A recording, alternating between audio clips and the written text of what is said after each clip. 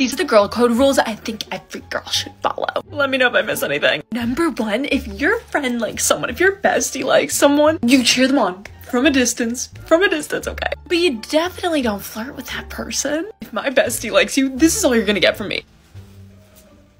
Number two, we are honest, but not mean. I'm not gonna be fake with you, okay? If you ask for my opinion on something, I'm gonna give you exactly what I think. But that doesn't mean being unnecessarily mean. Some girls will be like, you look terrible today and you look so bad and I can't believe you look like that. But I'm just being honest because I care about you. No. Because there's a difference between wanting to bring someone down and wanting to bring someone up. Number three, when bestie has a bad day, it's all hands on deck. I'm coming over, I'm bringing the snacks, and I'm not leaving you. We're watching movies until you feel a little bit better. That's what best friends do. You gotta show up. You gotta show up. If you go through a breakup, I'm gonna be at your door with ice cream. You know what I mean? Let me know what I missed in the comments.